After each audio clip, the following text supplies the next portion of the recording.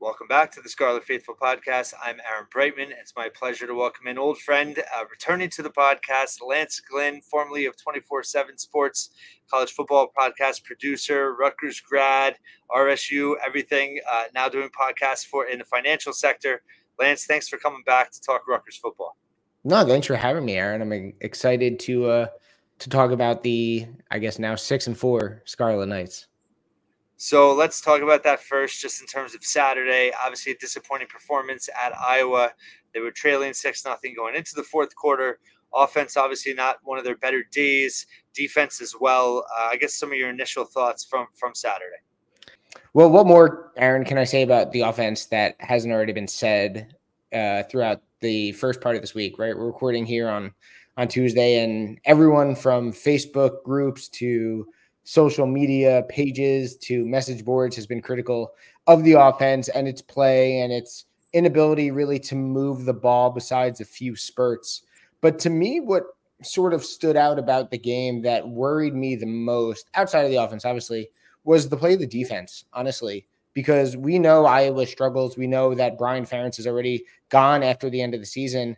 And at times, Deacon Hill, Iowa's started the season as the backup quarterback obviously has started since Cade McNamara's injury, uh, but he's not very good. And this is, you know, no offense to Deacon Hill, but he was the backup quarterback going into the year for a reason. He's done enough for Iowa to obviously win them games, you know, 10 7, 13 6, whatever it might be for the Hawkeyes, but he's not very good. And at times, he looked really good against Rutgers defense, the strength of the team, or at least the strength of the team going into the game, right? And it, it worried me to see them allow Iowa to, Iowa to move the ball like they did. Now, a few reasons why, right? You could you could blame fatigue. You know, obviously they had their bye week recently, but it's still been a very long season, and that was game number 10 for them. Um, obviously, players are banged up too, but I'm sure Joe Harasymiak, looking back at the game, is probably thinking the same thing. How did we give up the yards we did, both through the air and on the ground, to an offense that is going to fire their offensive coordinator at the end of the year and an offense that's probably one of the worst, if not the worst, in the Power Five.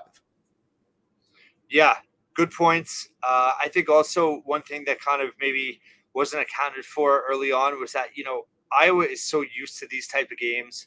Uh, these grinded out, close, physical battles, and Rutgers really hadn't like they hadn't been in a close game going into the fourth quarter. You know, maybe a little bit Virginia Tech, uh, obviously Michigan State, they did trail, but you know, in Iowa against a team that just always guts out these close games.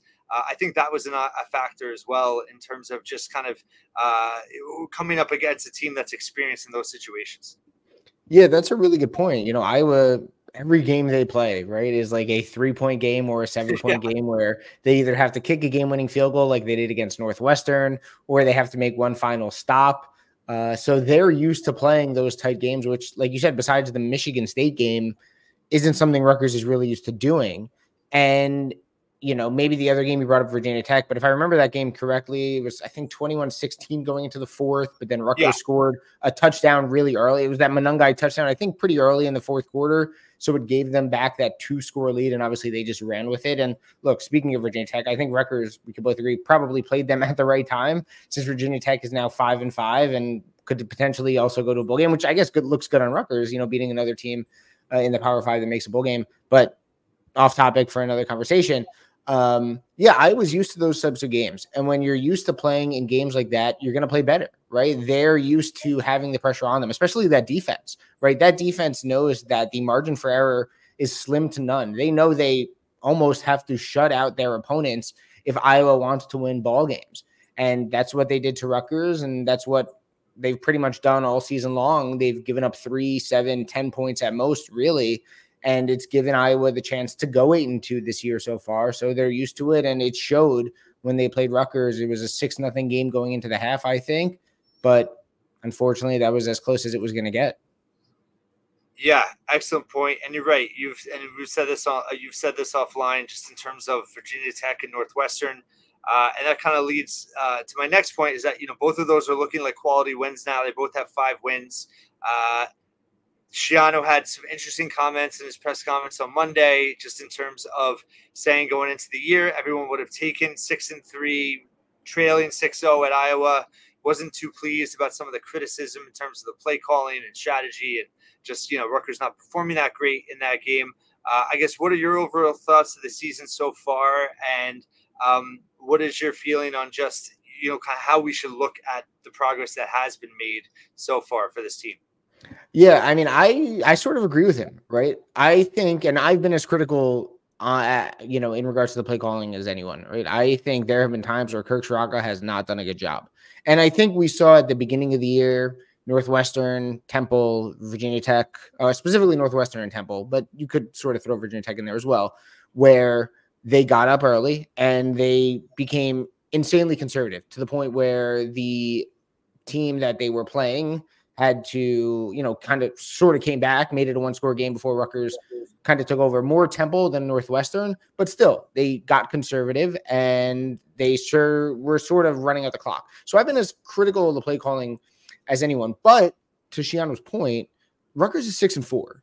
And I don't understand the trying to think the right word here. I don't understand why fans I understand why you're upset with the result of the Iowa game, as am I, and the way the team looked. But because you're upset about the Iowa game doesn't mean you should be upset about the season. Rutgers is six and four. Most people didn't think Rutgers was going to win a game, win six games, I should say, this year. Everyone thought they were going to win a game, but uh, most people didn't think they were going to win six games this season. They haven't been to a bowl game legitimately since my freshman year of college in 2014. That was the last time they one had a winning record, one, you know, six games, plus one more than well, they won five games, I think, one season. But uh, that was the last time they legitimately made to a bowl game. Obviously, take out the Gator Bowl when they replaced Texas A&M. So the fact that Rutgers is going bowling and was going bowling so early in the season too, before we even got to November, like this season has been a massive success in my opinion. And regardless of how these last two games against Penn State and Maryland turn out, whether we get blown out by Penn State and Maryland, whether we end up winning one of those two games, right? Like this season, everything else moving forward after they got to six wins was sort of gravy, right? Like Rutgers was playing with house money. There was no pressure on them. And sure, the Iowa game didn't look pretty. Obviously, you never want to lose to anyone 22 nothing, whether it's Iowa, Ohio State, Michigan, Penn State, whomever. You don't want to lose 21 22 nothing. You don't want to look inept on offense. But the fact is, that game doesn't epitomize the entire season for the Scarlet Knights. This team has taken massive steps forward in many areas that they needed to the offensive line, uh, the defense. I think you can even look at special teams play. I think field goal kicking has certainly uh, exceeded expectations leaps and bounds. And I think Rutgers has found their kicker of the future with Jai Patel. Like they've taken massive steps forward. It's shown both on the field and it's shown most importantly in the win column. So again, while I understand the anger after the Iowa game, I think people who use the Iowa game to then criticize the rest of the season, I think that's silly because there's no reason you shouldn't be happy about the way this year has turned out for Rutgers. They needed to make a bowl game. We all sort of had our eyes on on year four of Schiano was like the season to get back to bowl eligibility. And they did that. Sure, we want more. We want to win every game. And we thought we saw a big step forward when they played Ohio State really close. And maybe we came a little bit back down to earth against Iowa. But I mean, they're still six and four at the end of the day. They still have their most wins since 2014. Like, who are we kidding? You should we should all be happy that they're going bowling. They're playing a 13th game. That hasn't happened legitimately legitimately at Rutgers in the last decade. They're playing a 13th game. Like, let's enjoy it. We're gonna get Rutgers football in late December. Legitimately Rutgers football in late December. Like, let's let's have some fun with it and let's enjoy it. Totally agree. I think um, you actually could say the fact that Rutgers four losses, right? I mean, two are against two of the top three teams in the country in Ohio State, Michigan. Then you have Wisconsin, which was pre Tanner Mordecai's injury, which they were, you know, they were ranked at one point, uh, and and potentially, you know, they were going to challenge Iowa for the Big West title. And then Iowa, which you know, I think people really underestimate Iowa. They like to be, you know, it's like a punching uh, punchline because of their offense. But think about also who they've lost on offense, and they keep winning. I mean, other than that, that um, you know fair catch call that was controversial, they could be nine and one and uh, running away with the Big Ten West. So they don't have any bad losses really. And the fact that all of those losses, Rutgers fans were upset because they thought Rutgers had an actual chance to win. It's even Michigan. You know, there was a chance that they, they were in that game. Like that's progress in and of itself, I think. Just the fact that none of these games have been complete blowouts. Rutgers was in all of them to some degree.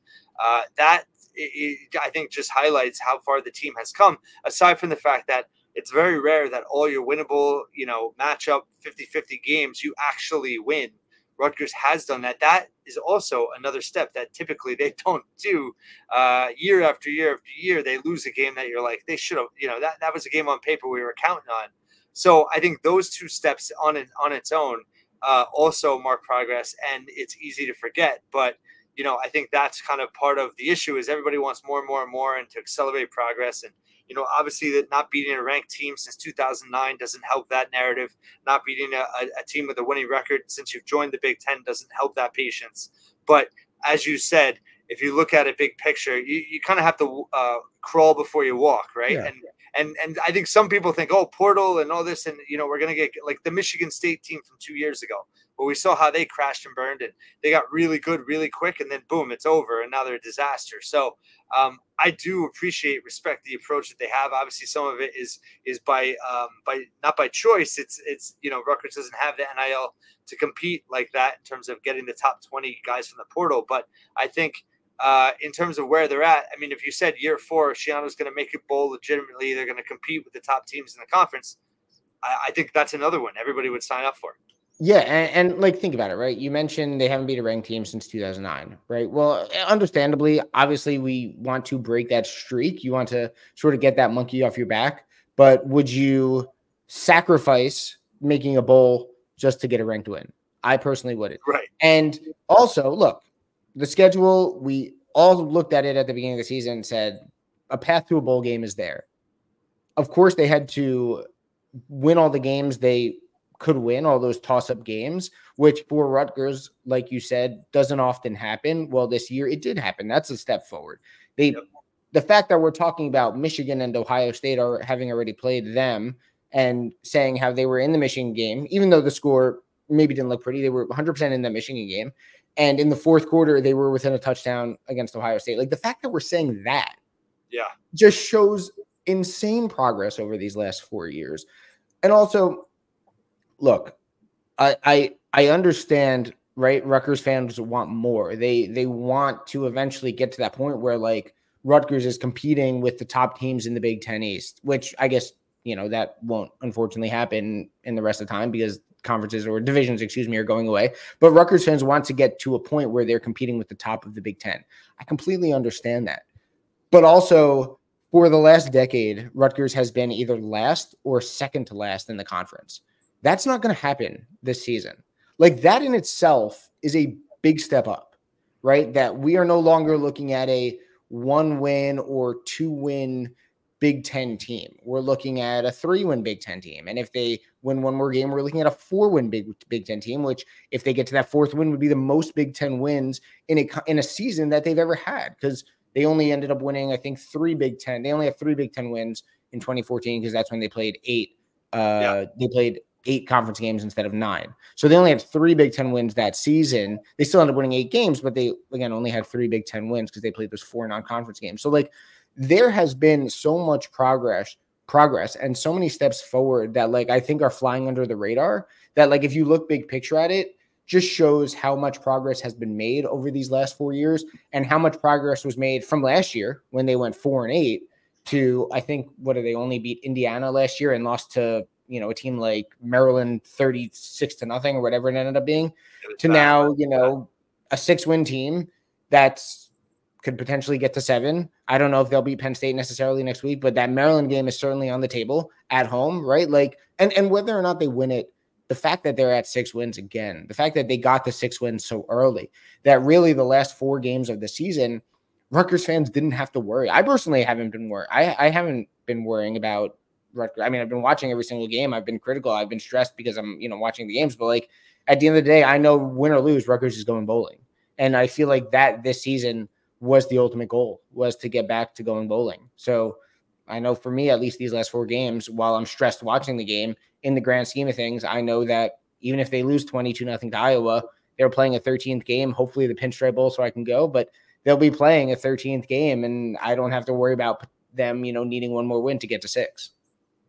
Yeah, great points. Uh, they, they, did what had to be done, right? They had yeah. to make the progress. They had. And how many times? How many times have we seen Rutgers not do that? Right? Like I go back to twenty, I think it was twenty sixteen or twenty seventeen, where you had like the Chris three. Ash progress season. You went from two wins to four wins, and everyone was like, "Oh, progress!" Right? Like the next season it would be six wins, but like that four win season, they lost to Eastern Michigan. So yeah. how many times have we seen Rutgers teams? Not win the games. Even Schiano's first season in the COVID year, and I get it, it was a weird year, but Illinois was playing with a backup quarterback that couldn't throw the ball, and they lost to Illinois that season, right? Like, how many times have we seen Rutgers win games or lose games that they should win? Yeah. This year, every game that they should win, they won. And I know me going into it, correct me if I'm wrong, but I think you going into it too. Neither of us probably expected them to win every single toss up game that they had on their schedule but they did. So we need to be happy and grateful that Rutgers is at a point where these 50 50 games or these games where they're slight favorites, they won all the games they're favorited to win, which hasn't happened at Rutgers in a long time. Yeah, I mean, it very rarely happens that you win every game you're, you know, kind of supposed to, and or uh, ha- have an equal shot in winning. Um, I mean, I think some people might say, "Oh, they should have beat Wisconsin," but I mean, again, that's at Wisconsin, even though they're in a first year with Fickell, you know, down year. That's still really uh, that's that's another step in the progression of the program, and um, you know I think now it's like you know maybe you're not in the nicest party room right? Because you, you, you didn't beat but you're you're still in the party right? You're still you're still there uh, where they haven't been for so long. And i think now the biggest concern i think the last two weeks is how are they health wise how are they depth wise can they hold up you know, we've seen this team get beat up year after year and kind of struggle through the end of November. Obviously, having then a month off, more or less, going into the bowl game will be huge for them uh, and a lot of great development time for the younger guys. Um, but I wanted to ask a couple more in terms of uh, quarterback. Let's talk about Gavin Wimsatt, uh, just in terms of his development this year. I think it's almost like he, he thoughts on him are parallel to the team, right? Where every they, they've both made progress maybe the team and Wimsatt hasn't made the same the same level of progress that fans had hoped, but he's still making progress. So I guess how are your thoughts on his him this season, and I guess his overall ceiling or, or future big picture look on him? Look, I think Rutgers fans need to come to grips with what Gavin is, and this isn't like a slight on Gavin. He is what he is at this point. Where he's been in the program three years. I get he's only 19, but like he is what he is. He's a quarterback who struggles with accuracy, that has a big arm, that uses his legs very well, which we're seeing. And obviously, we didn't see that last year because he, you know, got injured very early in the season, and that kind of hampered him throughout the rest of the 2022 year. But this year, we've seen him use his legs in a big way. Like that's what Gavin is. And sure, hopefully that accuracy increases next year.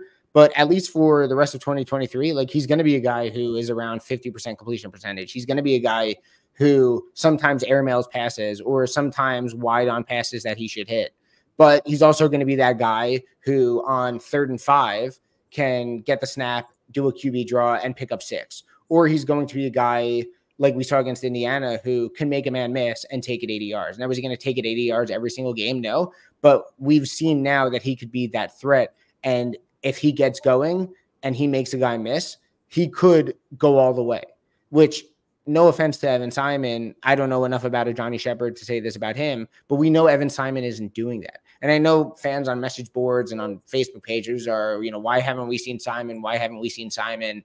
I understand it, right? Like you see Gavin's completion percentage and you're saying, you know, Evan Simon could be better and maybe Evan Simon can. I don't know what we've seen from Evan Simon over the last few years that makes anyone think that he could be this great passer.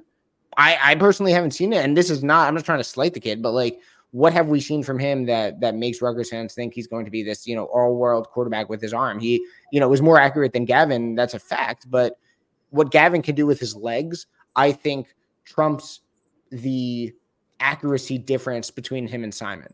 Right? Like I'd rather Gavin out there at around 45 to 50% completion percentage, but with the ability to rush for 100 yards in a game than Evan Simon around 55% completion percentage without the ability to rush for 100 yards in a game, especially with the way Rutgers offense is sort of stacked and is sort of laid out. They're a running team. Like that's what they are. Fans need to understand that this team isn't magically going to now, you know, try to throw the ball for 250, 300 yards. They're not going to do that. They're going to throw the ball 12 to 15 times a game, especially if they're leading, probably even less than that. And they're going to run the ball 35 to 40 times a game. Like that's what their offense is. And for that style of offense, the only quarterback that makes sense is Gavin because on the roster right now, and again, I don't know much about it, Johnny Shepard. We've seen one drive of him so far this season and in his Rutgers career. But between him and Evan Simon, the best quarterback at running this type of offense is Gavin Wimsatt, bar none. Like it is hands down Gavin Wimsatt. I'm sorry. Yeah, well, I agree. And I also think at this stage, you're messing with his development if you take him out now, right? Because you have two more games to go, then you have the bowl. Um, but I think they're so far down the road, like they're all in on Wimsatt. Like what what what what really has happened for them to have regrets now? I mean, yes, they're limited in some capacity. I also think, aside from his continued development, I, I do think that Ciarrocca is still learning how to kind of utilize him. Uh, you know, I, I and, and, again, I've, I've said this at nauseum, but I think he's been put in a lot of second half passing situations that I don't think set him up to succeed as mm-hmm. well uh, as if they were a little bit more aggressive with him throwing it first down, throwing, you know, when, when they're not trailing by multiple scores. Um, and I also think that, that he's still just learning how to kind of what best works for his skill set. So I think next year, you know, we could see a, a leap forward. I, I, agree with you. I think, you know, he's never going to be a 60% passer, right, in terms of accuracy. But if he can take another step forward, and, and, and again, he's made some amazing throws at times. It's just the consistency factor hasn't been there. Um, but I think that uh, at this stage, you know, he, got you to six wins. Uh, you have two games to go. You have the bowl game. Pulling him now, it's it, you know, and and it's funny because fans forget like Schiano got a lot of criticism warranted uh, back in the day. You know, when he uh, pulled, you know, Savage, when he um, you know was constantly tinkering with the quarterbacks and you know it, it, got it did burn them at times so i think that they, they've shown the opposite approach here and you're so far into the season and so far all in on Wimsatt. Uh, he's shown some positive signs. I think you have to continue to go and get the yeah, absolutely. You ha- you you have to continue to ride with Wimsatt, and like you said, at this point of the year or this point in the year, with two games left to go, and then obviously that third game, the bowl game, it, it just doesn't make sense. You're way too far into the year. You want to tell me you're going to reevaluate come the offseason and heading into 2024, sure. Like who knows what Rutgers quarterback room is going to look like at that point, yeah. right? You're going right. to assuming have Gavin, you're going to have a Johnny Shepard, you're going to have AJ Surace. My guess is Evan Simon's probably going to transfer out just because that's the world we live in in college football today. You could have a veteran come in, right? Maybe they decide to, you know, we're going to bring in a fourth guy, we'll redshirt Surace and we'll let you know, a veteran Gavin and a Johnny Shepard will try to battle out and see if Gavin's still the guy, right? Like you want to reevaluate come 2024, sure, go ahead, right? But with right. two regular season games left, having gone through all the struggles with Gavin that you've gone through this season, why would it make sense to pull him right now? You're not beating Penn State whether you have Gavin Wimsatt or Evan Simon. I'm sorry, but I know Penn State's going through a lot and maybe this is you know jumping the gun on potentially talking to Penn State, but like I know Penn State's going through a lot with Mike Yurcich, having recently fired him, and now a new offense under I think Bill O'Brien's son, Danny O'Brien. Maybe it's his son. Maybe they just have the same last name. I don't know, but you're not beating Penn State whether you have Gavin Wimsatt or Evan Simon. So you might as well just continue to run with Gavin. I think he gives you a much better chance to beat Maryland than Evan Simon does, and he's been your guy for the last you know ten plus games what's the point of pulling him at game 11? There's just no point. He's gotten you to where you needed to go to this season. I understand you're upset about Iowa, but like, again, you're going to fault him for one game and then pull him. Like, it just doesn't make sense to pull him right now when he's gotten you to where you needed to go here in year number four. If you were at four wins or five wins at this point, sure, you want to make a change to try to spark your team in the last two games to get to a bowl game, fine. But you're already at a bowl game. He's gotten you to where you need to go. Like, why are we worrying about him and get and, and pulling him right now? It's it's frankly a silly conversation. Not not silly conversation you need to have. It's silly that fans think now is the time to pull Gavin. Yeah, I think it's just a frustration thing. Uh, I agree; it doesn't make sense, and uh, you know, no, no fan base wants to free the backup quarterback more than Rutgers over the years. I'm surprised uh, we haven't seen the hashtag uh, free Simon and mirroring the free Rettig, which I, in that case, I think Hayden Rettig should have played. Which I think we all think Hayden Rettig should have played. but uh, yeah, I'm surprised we haven't seen the free Simon yet. yeah, well, and it kind of it's perfect tie into Penn State. Uh, just kind of like last topic I wanted to ask you about in terms of, you know, it, it is like firing the offensive coordinator with two games to go, and you know, granted Penn State has two losses. It just seems kind of comical. Uh, and and I'm all for. I agree with you. Fully evaluating everything at the end of the season. That's what it's there for. You have the right time to do that. Um, I guess. How do you think that's going to impact this game? And overall, how do you think that these two teams match up? I don't think it's going to impact that game all that much, frankly. Like Penn State is what it is. I think, frankly, I- am surprised Franklin pulled the trigger on Yurcich with two games to go. I think it was inevitable, inevitable this offseason. Like I would have been shocked if they went into 2024 with Mike Yurcich as the OC, because you know we know for Penn State, like Ohio State and Michigan, the only games that really matter to them on the schedule are when they play one another. So while Penn State can beat Maryland 51 to 13, or they could, you know, beat Michigan State 31 nothing, or whatever the score of that game was, like the only games that mattered to Penn State were Ohio State in Columbus and Michigan at home. And in both those two games, Penn State, you know, did nothing offensively and they were bad on third down.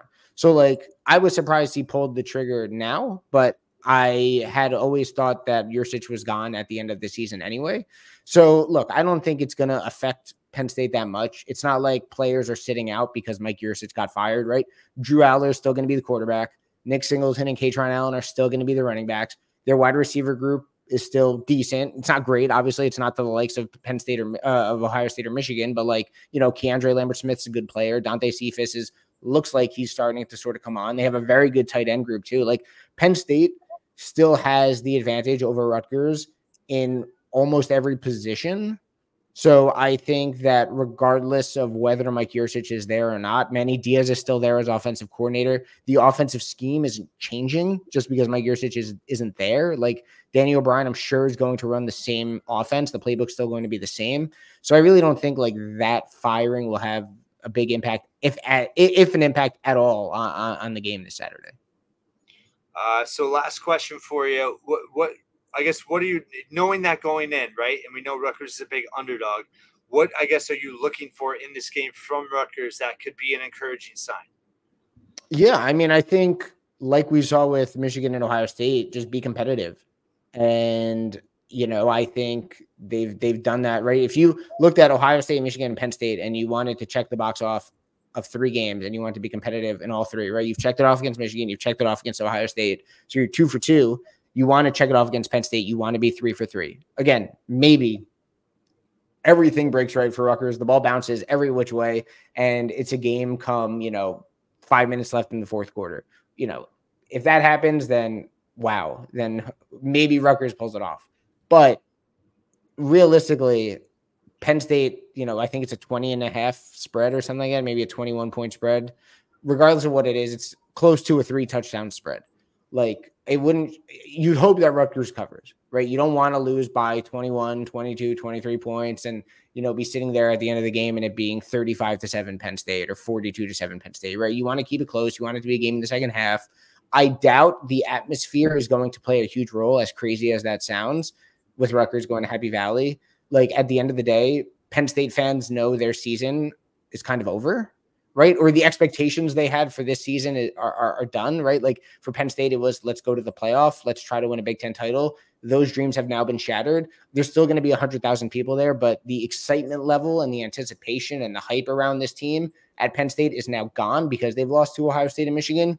So, like, I don't think the crowd is going to play like this overwhelming factor where Rutgers is going to have five or six false starts, although they had five false starts against Iowa. So, I guess you never know. But, like, I don't think the crowd is going to play some like huge role that completely impacts Rutgers and completely takes them off their game. I just think right now, with the way they recruit, Penn State in pretty much every position is just more talented. And again, that's not like a indictment on Rutgers and Greg Schiano. It's just that Penn State recruits at another level. They recruit at a top 10 level. It just is what it is. Talent wins out in college football. I think Penn State wins. I think they win, you know, by 17 points, right? Like if you need a score, I would probably say, you know, 28 10 or 27 10 or, you know, maybe 31 14, something like that. Yeah, I, uh, I I think you know I'm worried that Penn State, the team, is going to play angry after hmm. losing mm. to Michigan. I think you know Franklin can deny it all, all he wants, but I think he gets Penn State up for Rutgers every year because every year I feel like Penn State, you know, under Franklin has uh, really given them a really hard time and played really hard. They've destroyed them in the trenches the last couple years, so I'm a little nervous because I think that Rutgers is banged up. So yeah, it could be it, it could be an ugly game for sure. It's going to be a physical game again. Um, I think Rutgers is as best positioned to play them well as they have been under Schiano, but it's going to be a big challenge and uh, all, all great points. Any any closing thoughts? Yeah, I and I do want to say this right. Like Rutgers fans, obviously, were not happy with the offense against Iowa. Penn State's defense is just as good as Iowa's. So it's not like, you know, Rutgers is going from Iowa with a great defense to a team with a mediocre to bad defense. Like Penn, State, Penn State's defense is one of the best in the country with multiple first round picks on it throughout the next few years and multiple NFL players on it.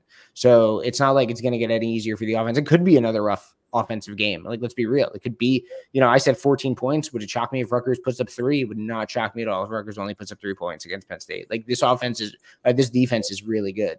Um, so, but, but with that said, like, I still don't think it's time to get so discouraged. Like, don't forget, just because Rutgers offense isn't great, like the defense they're going up, the defenses they're going up against are really, really good.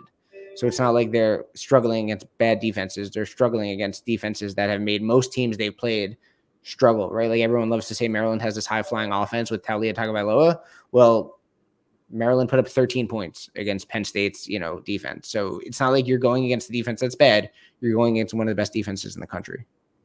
That's an excellent point. And, you know, I almost, if, if I had to sign up for it, I would take, you know, a bigger margin of defeat against Penn State where potentially maybe you do end up, you know, resting some guys at the end and, and, and have everything going for Maryland when, yeah. it's the more realistic opportunity to close the season strong. So we'll see. We'll see what happens if, you know, they do kind of fall out of it in the second half, how they approach that. But, uh, great insight as always. It's great to have you back, and uh, definitely be talking to you soon enough. Uh, Lance, Glinn, thanks so much for being here, and uh, we'll talk to you again soon. Yeah, thanks, Aaron.